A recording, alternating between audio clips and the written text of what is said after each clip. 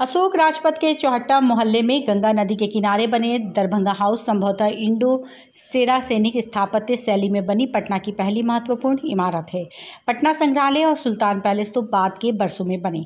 अठारह में जब अंग्रेज़ों का हिंदुस्तान पर पूरी तरह नियंत्रण हो गया तो उन्होंने इंडो सेरा सैनिक स्थापत्य शैली के माध्यम से यह दिखलाने का प्रयास किया कि भले ही वे शासक हैं, लेकिन भारत में ब्रिटिश भारतीय परिवेश का हिस्सा है। अठारह सौ सत्तर के दशक में उन्होंने भारत में इंडो सेरा सैनिक स्थापत्य शैली में प्रयोग शुरू किया।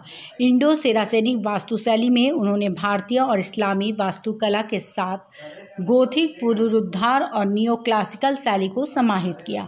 अठारह में अपनी ताजपोशी के बाद दरभंगा के महाराजा लक्ष्मीश्वर सिंह ने गंगा नदी के तट पर दरभंगा हाउस का निर्माण करवाया। इसके लिए उन्होंने ब्रिटिश वास्तुविद मेजर चार्ल्स मैंट की मदद ली। चार्ल्स मैंट ने हिंदुस्तान में रहते हुए कई महत्वपूर्ण इमारतों को डिज़ाइन किया था। पटना में उसने टेंपल स्कूल ऑफ़ मेडिसिन को डिज़ाइन किया था। पटना में उसकी घनिष्ठता दरभंगा राज के महाराजा लक्ष्मेश्वर सिंह से हो गई। उनके आग्रह पर उसने दरभंगा के आनंद बाग पैलेस और पटना के दरभंगा हाउस का डिज़ाइन तैयार किया। ये दोनों इंडो सेरासनिक शैली के थे। आनंद बाग पैलेस को मैंट ने अपना सबसे महत्वपूर्ण प्रोजेक्ट माना था।